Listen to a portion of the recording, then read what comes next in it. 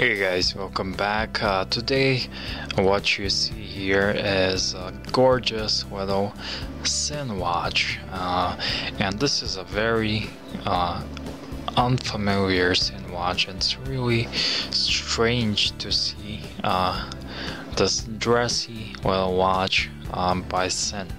Um, for those of you who don't know, uh, Sinn uh, or Spezialuhren, uh, they are German brand. They make they're making watches in Germany. They're based in Frankfurt, and they the company was founded in 1961 uh, by Helmut Sinn, and uh, he was a he's a flight instructor and uh, pilot.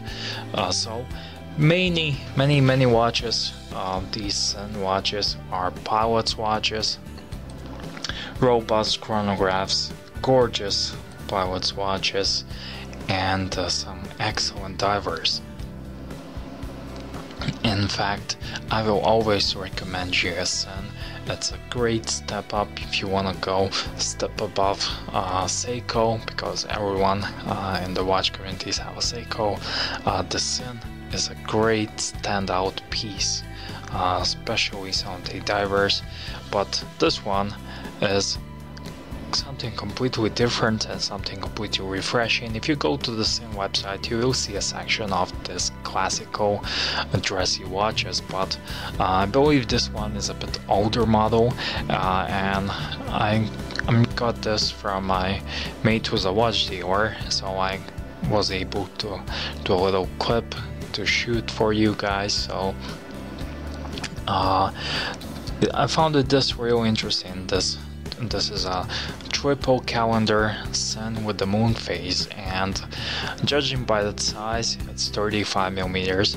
Uh, I, I, would say it's a bit uh, older model. It's not definitely not contemporary.